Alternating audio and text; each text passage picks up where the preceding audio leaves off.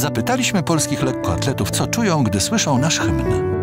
Plus 10 do odwagi, plus 10 do prestiżu. Ciarki i wspomnienia wracają. Śpiewałem, byłem dumny, ciary po, po całym ciele. Wzruszenie na pewno. Czasami leciały łzy i Ogromna radość i ogromne szczęście. Dopiero wtedy wszystko jest ważne, jak ten hymn wybrzmi. Czekam zawsze na niego z utęsknieniem. Spełnienie marzeń.